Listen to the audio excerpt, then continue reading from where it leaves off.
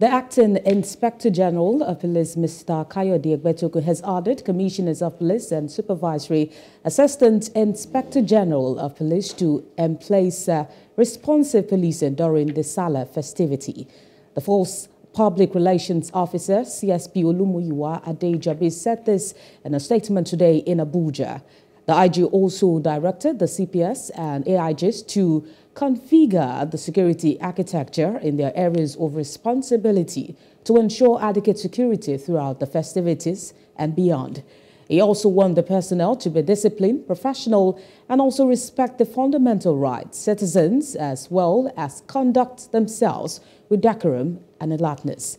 He pledged that the force will harness all available assets, including working with relevant group, associations, sectors, and other security agencies to boost security in the country.